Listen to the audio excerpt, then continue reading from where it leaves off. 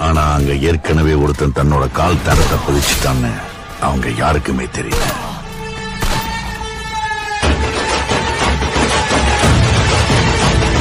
Powerful people come from powerful places